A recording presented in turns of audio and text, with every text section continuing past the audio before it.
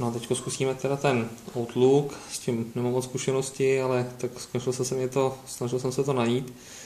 Od, bod 19. Otevřete si klient elektronické pošty Microsoft Outlook a vytvořte novou poštovní zprávu. že pouštím Outlook, novou zprávu, nový e-mail.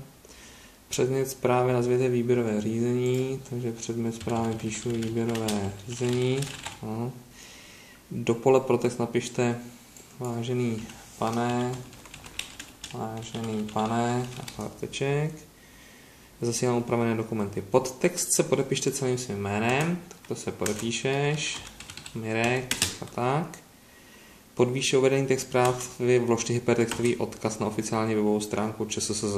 Takže já bych napsal prostě normálně takhle textem. Oficiální uh, stránka oficiální stránka ČSSZ a tohle to má být, tohle to má být ten odkaz. Takže si ho levým čudlíkem držím čudlík a označím si ho, pravým čudlíkem se šipkou v tom textu označeným zmačku pravý čudlík, dám volbu hypertextový odkaz a tady do políčku adresa napíšu prostě tu webovou stránku www.cssz.cz a dám OK. A vidíš, že v tom mailu se to už jako chová prostě jako hypertextový odkaz. Takže to je úkol číslo 20 hotový. 21. Pro ozvláštnění vzhledu zprávy sformátujte použití motivu čtverečkový papír z nabídky předdefinovaných motivů.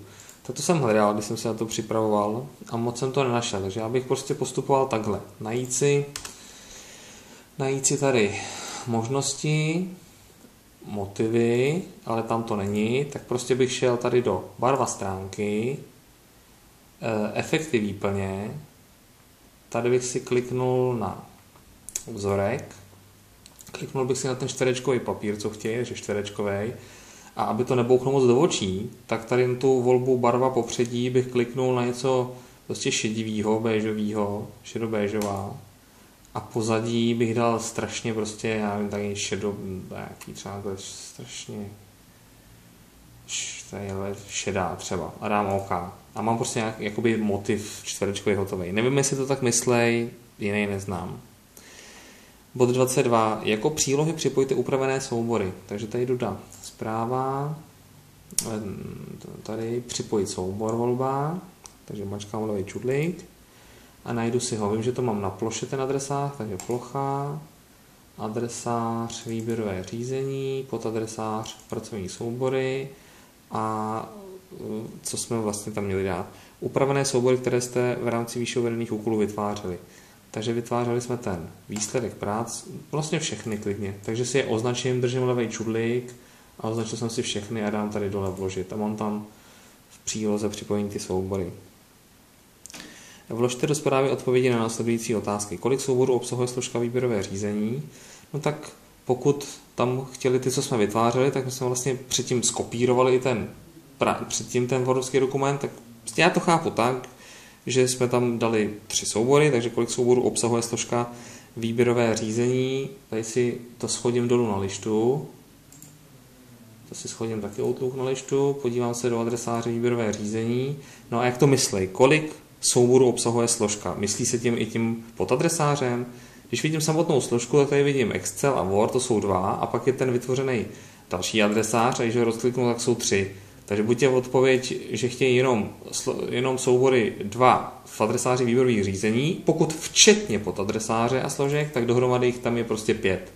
Tři v adresáři pracovní soubory a dva v adresáři výběrového řízení. Takže celkem asi pět prostě. Jaký objem dat obsahuje složka výběrové řízení? No tak to si najedu pravým čudlíkem kliknu na ten adresář, levým čudlíkem kliknu na vlastnosti a vidím, že velikost je 63,7 KB.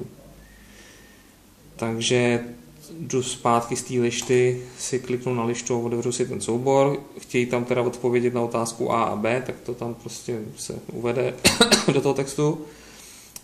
Souboru teda je podle mě 5 a objem dat bylo těch 63,7 KB. Tak nastavit důležitost. Tak jsem v té zprávě, tady se nastavují důležitosti, takže ji klikám na tohle tu modrou šipku dolů jako nízká a nastavit, aby doba její platnosti vypršela 14 dní pod nikdy vykonáváme tento test. Tak tady je taková malinká ikonka, jo, kliknu na ní, jinak celkově to je prostě v záložce prostě vlastnosti, dole je tady funkce nebo možnost platnost vyprší po, kliknu na to a nastavím si tady datum těch 14 dnů, tady je týden, druhý týden, tak tady 18. v kolik hodin a dám zavřít. A je to takhle nastavený.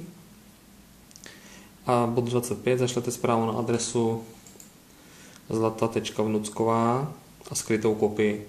Tak sem komu napíšeš mailovku a tady do toho skrytá dáš tu druhou adresu mailovou Květuše Solková.